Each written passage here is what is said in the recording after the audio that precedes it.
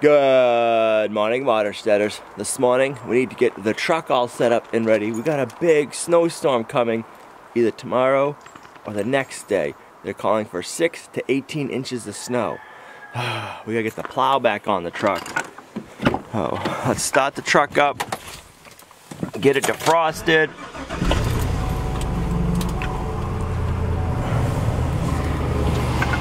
It's been so nice not having to have the plow on the truck or plow. But we better get ready for it, so we'll get the plow on the truck in a minute, but while we're waiting for our truck to warm up, we can watch Pluto running around. Ah, no, just kidding there. Let's go check on the maple syrup taps and see if we can collect any sap. A lot of the modern steaders are smarter than me and they said, why don't you bring an empty five gallon bucket with you to the taps? That's good thinking. So I catch on pretty quick. We got a five gallon bucket. I'm thinking if we have enough sap, and if Olivia's got the day off of school, we'll be boiling sap on Thursday, the day of the snowstorm. Just do this.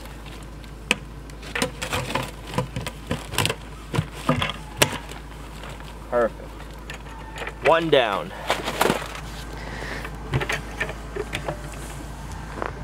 Crazy dog. Alright, before the bucket gets too heavy, hopefully it gets too heavy, let's go get the sap the furthest point from our truck.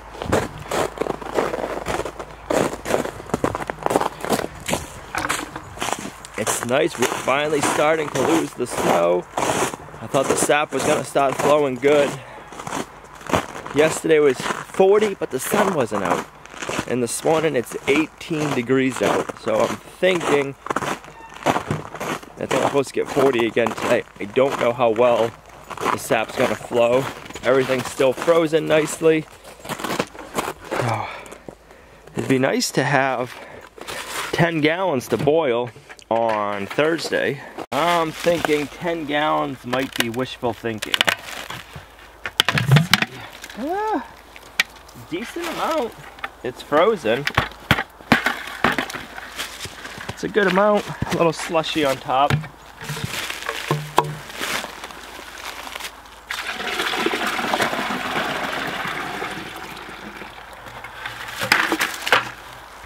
I know if I take that ice off, that doesn't have sugar in it, so there'll be less boiling.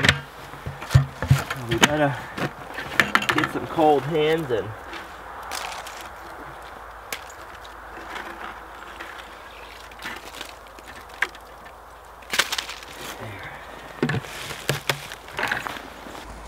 Survey says, eh, we got a little bit. Stay over here, Pluto. Eh, not quite a gallon, but a good little amount.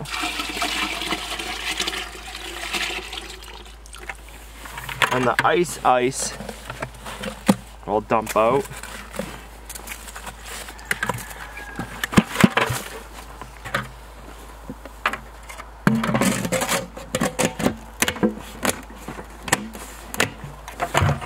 Cool, we're gonna have five gallons before you know it. Look at that beautiful sunrise. Man, mornings on the homestead are beautiful.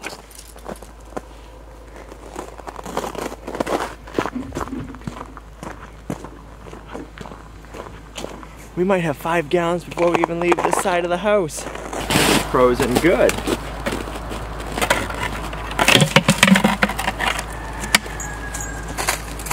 A little bit in there. I'm gonna go dump that in the bucket pretty frozen, but we'll save that. We're having a pretty darn good morning so far this morning. Look at that ice. Less to boil. Nice. Two more to check on this side. So I'm thinking we're gonna have five gallons and I better get another bucket before we go check the rest of the taps and put the plow on the truck. Yeah, Pluto. Nope. That, this tree is so funny. It hasn't produced hardly any sap so far. I thought that was gonna be a good producing tree, but nothing yet. While I'm thinking of it, I wanted to show you something. Our friend and fellow YouTuber, Kevin, over at River Mountain Homestead, made us this nice homemade knife. Let me show it to you. It's got this nice homemade leather sheath. I love the clasp to go on the belt, but it's also, you can pull it so you don't gotta take your belt on and off to wear it. Man, this thing comes in so handy. It's the perfect size. Let me show you. Boom. I bet you this is gonna make a great knife when we're butchering our chickens. Man, it's a nice thin blade. It's not too thick. How well that's showing. He's got his name, River Mountain Knives, right on it. Look at that beautiful handle. Small imperfections on it, and he said, you know, it's not going to be perfect. There's some imperfections. You'll see I'm still learning, but you know what? I just think that makes the knife. You just know it's homemade, and I like that. Not we're not perfect. We're not made to be perfect. So get that out of your head right now. Nobody's perfect. And that's a beautiful thing. I love knowing that I don't have to be perfect. I wasn't made to be perfect. I was made with all my imperfections. And you know what? I love my little quirks, my imperfections. I used to hate them, but nowadays I've learned to love them.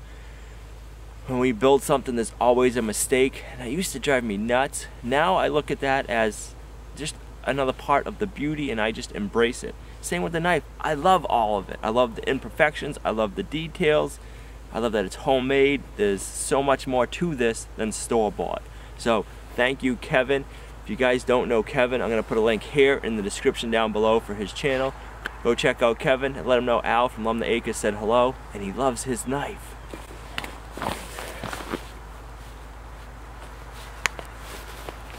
All right, sorry for that little short intermission. Let's see if this other tree, let's leave the bucket there. It's kind of heavy. Let's see if this other tree's produced any. I think what it is is we're not late enough into the season yet and these trees are always in the shade right now. They're not getting that much sun, so they're not defrosting. One's got a little bit. This one's nice and frozen again. There we go. Break it out just so we can get the sap out. All right. Cover back on. Nice. When we were making our driveway wider here, I had an excavator over here and I was using it and I found this flat rock and I played around with it and I got it positioned just right. Now we need to find a way to get the Lumnah Acre logo on this. This thing's been here for almost three years now. We gotta figure out how to get Lumnah Acres on there. I thought that'd be kind of a neat rock little entranceway to the homestead. Oh, not quite five gallons, but it's pretty close. I was gonna put it in the snowbank, but I'm thinking, let's go put it in the cave. We're gonna go in the house and get another bucket anyway, so let's grab another bucket and we'll leave this one in the cave.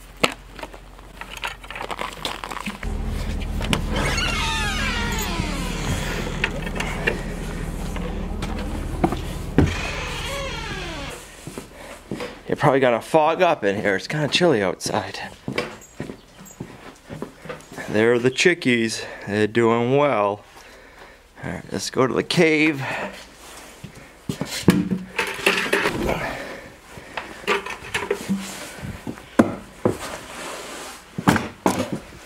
right here. It's in the 40s. Perfect. Good refrigerated temperature. Get out. Hey. Out of the cave, both of you. Out. Means you too. Get out, mister.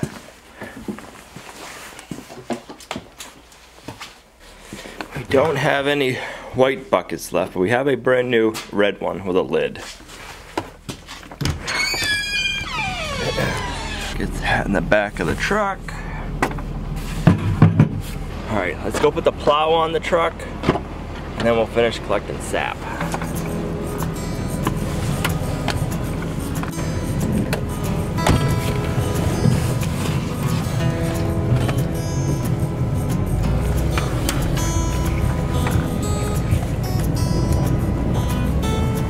So nice not having the plow on the truck, man.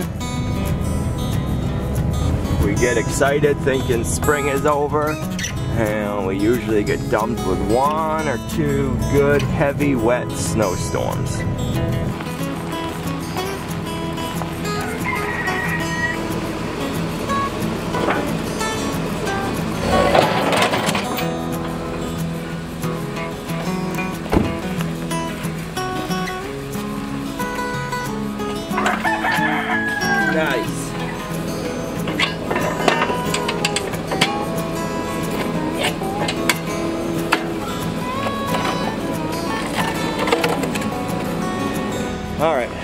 That we got that done, let's go finish collecting some sap.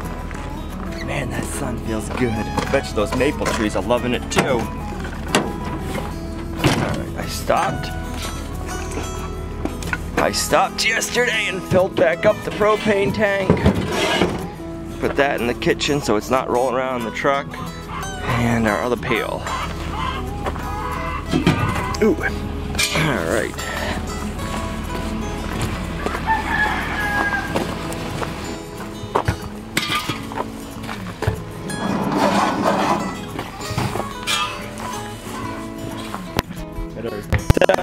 Still. Our big burner for the big pot. Our little burner for finishing off the syrup, sap into syrup. Propane. And our big pot is cleaned and ready to go. Alrighty. I'm thinking this next tree we're going to check should have the most. This has been our biggest producer and I was thinking the other day that this tree gets the most full sun. If you look, right now it's in sun already and it'll have sun on it all day long. So I think this is why this one's our biggest producer.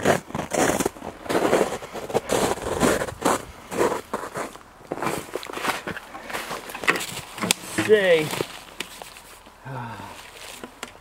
Nope, it wasn't. It's got sap in it. But it's not the biggest producer. Alright. I tell you what, you just never know.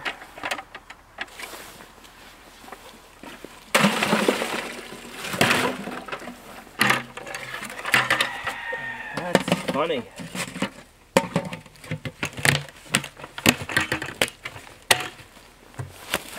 Take the ice out. Save us time in the long run.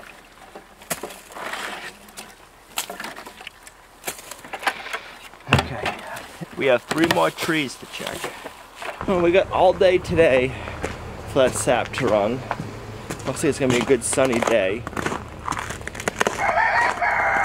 Tomorrow, it's supposed to be mid 30s, so there'll be some. Look, Renegade Rooster. So tomorrow we'll have a little bit of sap running, so we might have 10, 15 gallons by Thursday if we get the day off from school. That'll be fun. My fingers are getting cold. Ooh.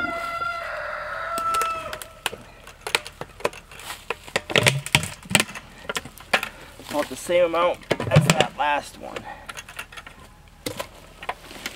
If I give it a good tap on the bottom, it puts a hole. There we go. That's a better tap.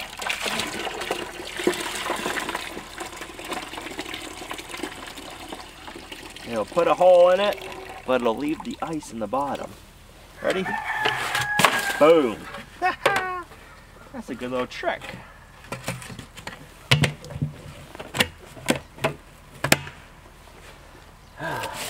I just don't know what trees are to be producing now. But hey, let's go check the last two.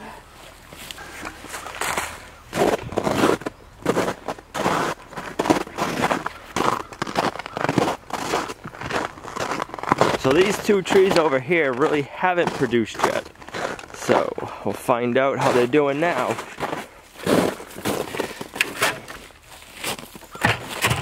Survey says little bit. Last one, a little less. I don't know if you can see in there that good. I'm pretty sure that's the most it's produced so far.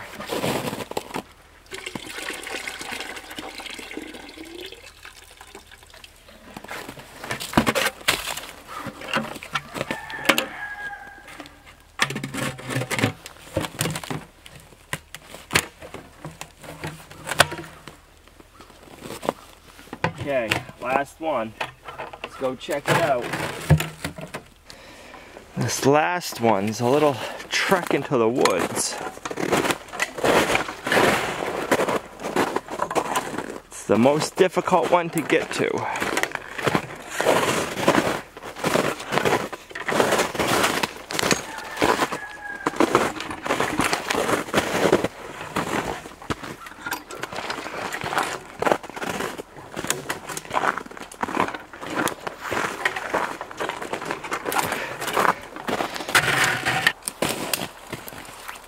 The reason we're not using the Kubota this morning, nothing.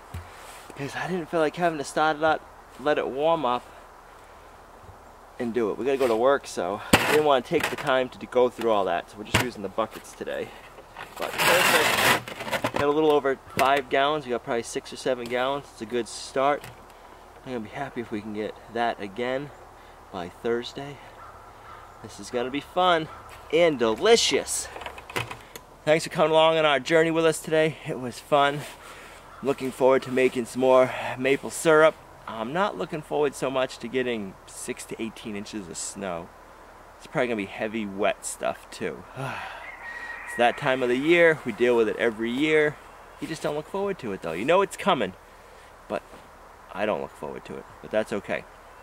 We'll get through it. We'll get to boil some more sap down to syrup. It's going to be delicious and sticky. Now is a great opportunity. If you're not already subscribed to the channel, go on down below, subscribe and turn on notifications while you're there. Or go on over to our website, lumnahacres.com. There's a link in the description down below. Sign up for our newsletter. And remember, we upload a video every day at 6 a.m. And we'll see you right back here tomorrow at Lumnah Acres, a guide to modern homesteading, self-sufficiency, and freedom. Bye.